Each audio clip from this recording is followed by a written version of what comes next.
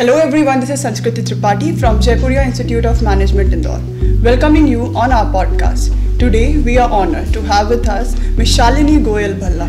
Welcome ma'am. Thank you. Ms. Shalini Goyal Bhalla is a leading expert in the field of circular economy. Recently, she has been awarded by Ministry of Environment and External Affairs of Finland on her, fee- on her, on her work in the field of climate change. So now, today we are going to dwell deep into the topic of circular economy and sustainability and get some real insight from someone who is working on that field. Thank you, ma'am, for joining us on this podcast. It's a pleasure. Thank you for inviting me. Yes, ma'am. Ma'am, you your contribution in the field of sustainability and especially in circular economy is nothing short than a remarkable. But what convinced you to start your project and you're working in the field of circular economy? Well, uh, I was working on a project uh, of net zero uh, when I first came across the term of circular economy. And something uh, told me when I saw the policies, the work that was happening in EU and in the US on circularity, uh, something told me that this subject is going to gain importance even in India. And so the first uh, endeavor that I got into was bringing this knowledge to India about what circular economy is all about. So I started to write my book uh, on circular economy. It's called Circular Economy Re-Emerging Movement uh, because in my book I delve um, not only on the sectoral practices of how industries could lead to a circular transition, but I also talk about some sustainable practices in India. Uh, a very simple example would be sun drying of clothes. Uh, because mostly, if you see the developed countries, uh, they use dryers to uh, dry their clothes. But in India, we do it in the open balconies. Uh, and so, uh, what is the how to associate that with the the climate change or the greenhouse gas emissions that are associated by with using a dryer? I actually put them into numbers and is published in my book and that one particular chapter it's called old wine in new bottle where i am talking about how the old indian practices are highly sustainable and circular in nature uh, whereas uh, the developed countries are still looking at it. Another example that i quote is about uh, the use of uh, yoga um, instead of gym so how sustainable and circular is doing the yoga practicing yoga which is a holistic exercise in it, itself as compared to gym which is a very specific exercise for a particular body part and also the energy that goes into running uh, a gym.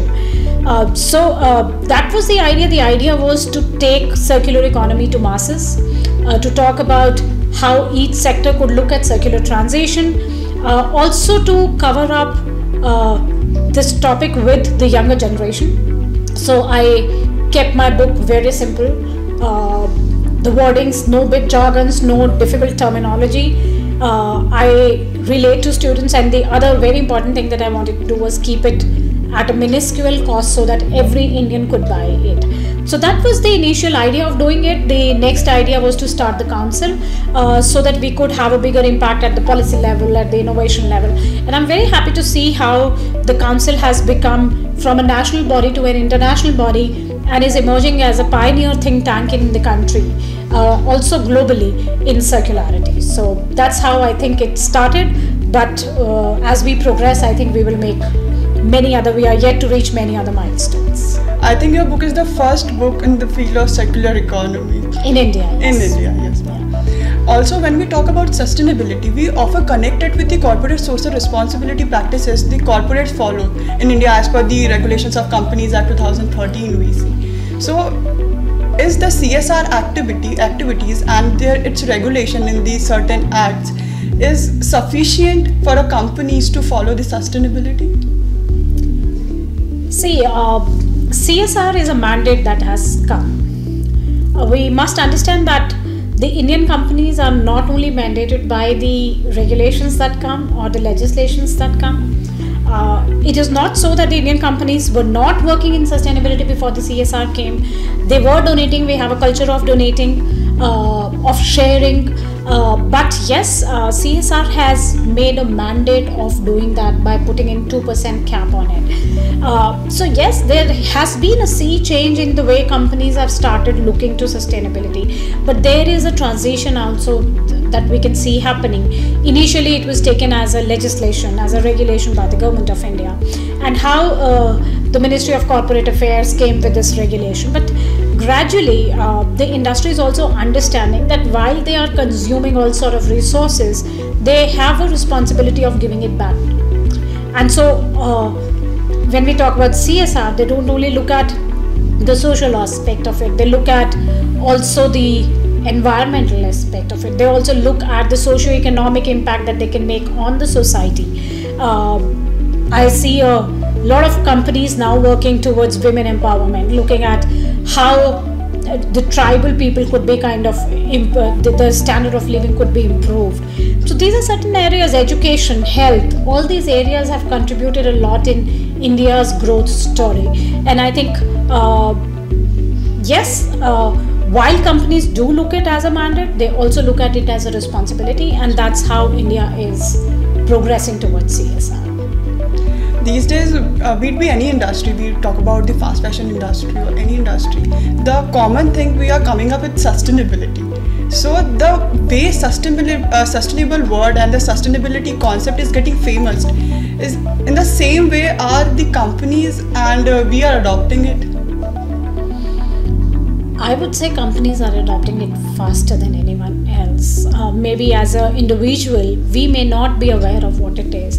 Most of the times when I talk, uh, sustainability is uh, very much correlated with the environmental aspect. But if you look at sustainable development goals, there are these 17, 16 plus 1 goal, and they talk about everything. They talk about gender, they talk about poverty, they talk about hunger and I believe all the initiatives by the industries that are happening uh, are happening towards one or the other sustainable development goal. And uh, industry is very well inclined towards their responsibility. I see uh, companies working in different sectors knowing that if I am talking about, uh, let's say, drinking, they do talk about road safety as an initiative. Uh, so they do understand that while they are out there, um, they are also they have a responsibility of promoting responsible driving responsible drinking habits. Uh, there are companies uh, who are working in fashion but at the same time are talking about uh, different methods. I mean fast fashion i mean companies are driven by the profit uh, scales but uh, at the same time they're aware of the fact that we need to talk about a different thing bring in circularity and sustainability into our business practices. So they are looking at maybe other models, other business models, uh, sustainable procurement, sustainable policies within their industry, um, not only through the CSR angle, but also from their own business practices to become more sustainable. And I think uh, the ESG reporting, uh, uh the BRSR reporting, uh, is also making it more easier and understandable for the company as to how they want to or will they progress towards also ma'am these days whenever we talk about sustainability it is often seen that the, uh, there are many courses in the colleges also which promote sustainability and trying to teach and inculcate the habit of sustainability and the thinking of sustainability in the mind of their student. So what is your suggestions to the students those who are going to be a future leader? How we can take ahead this sustainability? Uh, i believe uh, one thing with the new generation that I find is uh, keeping them updated about the latest information, what's happening in India, what's happening globally. So, one of the important, very important uh, uh, suggestion or advice to the younger generation would be to read newspapers and keeping themselves abreast. I see that the habit of reading newspapers is almost vanishing. Uh, you people are more on Instagram, and the news that you consume is more from Instagram and WhatsApp than any other news uh, source.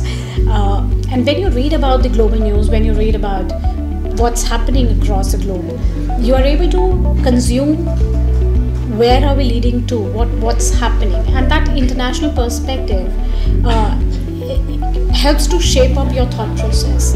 And so you know i think uh, while there are these courses while there is a theory there is a discussion that will keep happening on sustainability in the academia a lot of uh, approach that would be rather uh, a project based approach i would say.